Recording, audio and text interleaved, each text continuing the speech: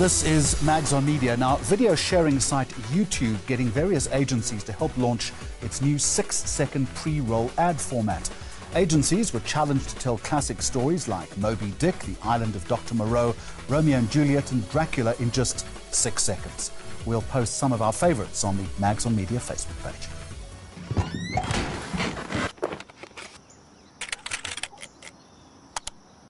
I think it's fair to say that mobile is the new mass medium. This is according to digital solutions company Digidata Insights. And while smartphone technology is the darling of the mobile industry due to its advanced capabilities, the medium is not quite reaching its full potential on the African continent due to high data costs, among other factors. With this in mind, Digidata has executed a number of interesting campaigns aimed at feature phone users to measure the impact and reach of what is called USS USSD based gamification. Here to explain all of that, and it's quite a mouthful, is Andrew McHenry, Director of uh, Operator Engagement at uh, Digidata. Welcome, Andrew, and thank you very much uh, for joining us. Now, your company makes the point that all of this is aimed at marketers looking to take advantage of rising mobile usage intensity. I'd put it to you that marketers these days cannot afford to ignore this platform. Absolutely. We, are seeing the uptake um, has been tremendous in the emerging markets. We actually launched here in South Africa and uh, branching out into other parts of the world, um, so far as India and Mexico and the like. So emerging markets where data costs are a problem to the consumer, the end user, and through USSD, which is a bit of a mouthful. Mm. And USSD has been uh, around longer than SMS, mm. actually but I think the pricing has been wrong. So the way that we use USSD is to zero rate it. It's no charge to the consumer, and we back bill it to the brands. We can talk about that a little bit later, but I want to get a broad sense of the strategy these days. Um, mobile first and mobile only campaigns. Our market is now accepting that this is a platform that can stand successfully on its own two feet? Absolutely. I think more so in, in, in Africa and emerging markets. I, th- I, call it the one and only screen. And uh, all the brands are targeting mm. those those eyeballs. So, so it's become speak. an easier sell as far as they're concerned? We're hoping so. I think the results that we, we've uh, seen so far, I think, speak for themselves. And that's what's, uh, I think, has attracted the brands onto our our USSD gaming sponsored gaming platform. Why would brands want to get involved in the gaming aspect of this? Everyone likes to play a game. From when we're young children, we are, you know, we want to play a game. Cowboys and crooks, you know, any kind of game. It's, it's actually in our, in our DNA to play games. So by putting onto the mobile device, I mean, people have a lot of time in Africa. So, you know, often, you know, they have time to, to, to kill, so to speak, with waiting for a taxi or waiting for a bus or just trying to kill some time. So you've got this captive audience, um, if you can price it right. Who are looking to do something with their fingers. Exactly. And, and to play some some games, and we, we create these games. Very you're, you're going to talk about pricing it right. That's the one thing. But before you can even think about price, surely it's got to be compelling. I want to go there. I've got to find some attraction in the game itself. And you make the point that smartphone technology is the darling of mobile. Perhaps the quality is slightly better.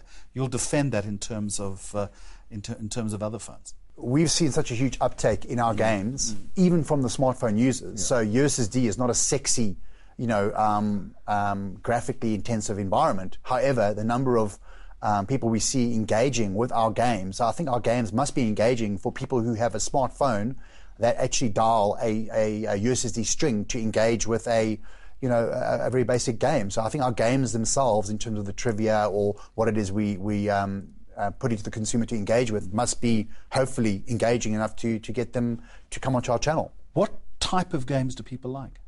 We build custom games, but I mean the most popular is uh, things like trivia, mm. word unscramble.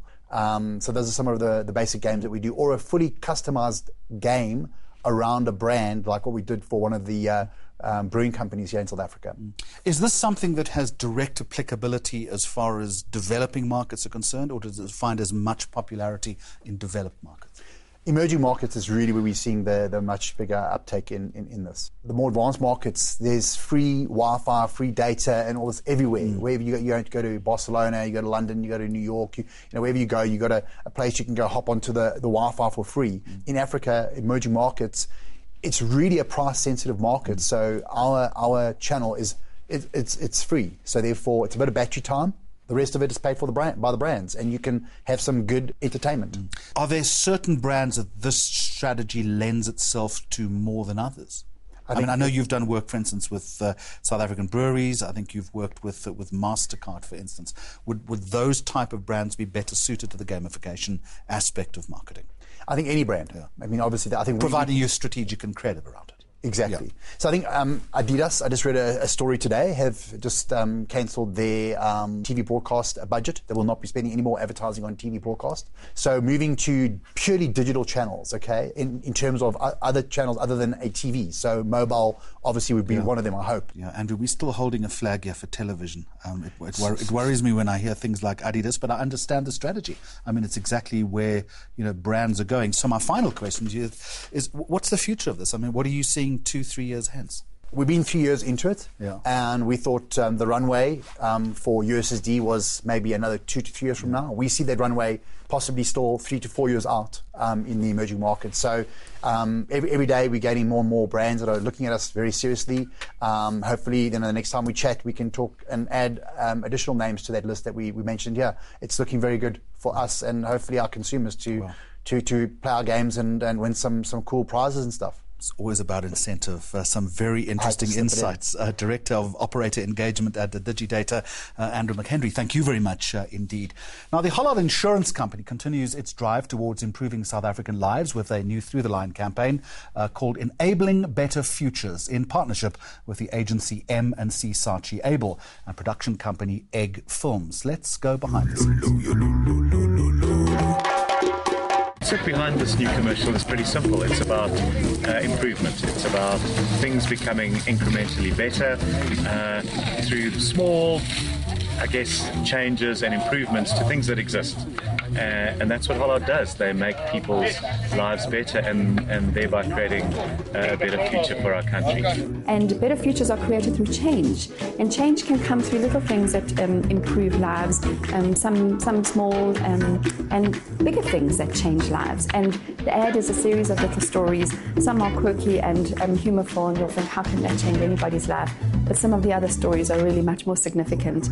Um, when it came to execution, we often, I mean, in the, in the financial sort of category and in the insurance category, especially, we tend to get very serious about what we're talking about. And we often, in terms of a look and feel, we default to what um, Europe is doing or what the US is doing in terms of uh, the look of our ads. Uh, with Hollard, though, you've got again like this amazing brand that's got this quirky personality that you want to bring alive in every touch point of your communication. But it's been a lot of fun. I think the humor for me is the best part of it, and I think that's also it helped me to push the humor in the story because that's one of the things I really thought about. The key to good storytelling is authenticity. What's great about this commercial and the story is that it's all true.